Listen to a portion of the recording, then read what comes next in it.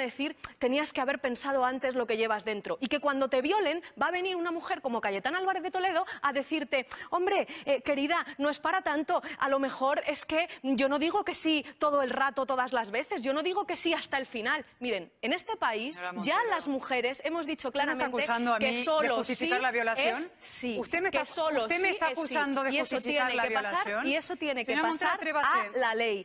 Por tanto, a a, las mujeres, por la favor, violación y un- su- este turno. 28 de abril, No. porque es importante para nuestras vidas. Pero si es imposible que haya una cosa tan tonta como tú en los contornos.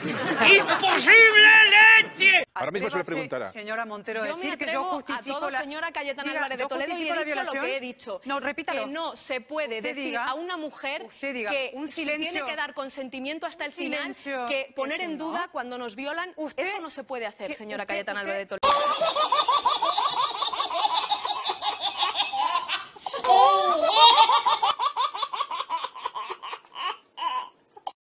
Toledo. No Diga, se puede hacer. ¿Usted está, usted está diciéndome, acusándome a mí de justificar se un delito hacer. de violación? Atrévase, señora Montero. Enseguida, enseguida. Hay que, hay que concluir. Su... No, no. Ahora le concedo el turno para que usted le repregunte. Es- es que pero le es estoy- que aún falta el estoy señor. Esteban. Tiene que contestar a eso. Por supuesto, hay que contestar. Seguramente señor Rufián le también le contestará a usted.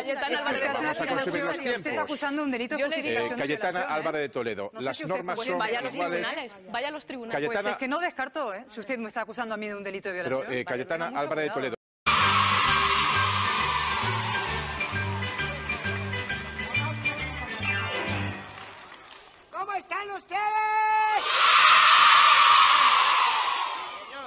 Sí, ¿cómo están ustedes? Más fuerte todavía, ¿cómo están ustedes?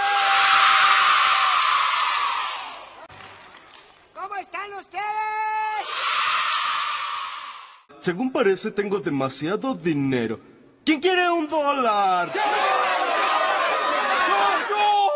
O sea, claro, ¿cómo te llamas, nene? No sé, solo deme el dólar. Bien, espero que este sea el inicio de una vida afortunada. ¿Quién quiere el segundo dólar? ¡Yo, yo! Ah, toma, lambrijo. Ahora. ¡No! ah, ¡Atención! ¡Dólares para todos!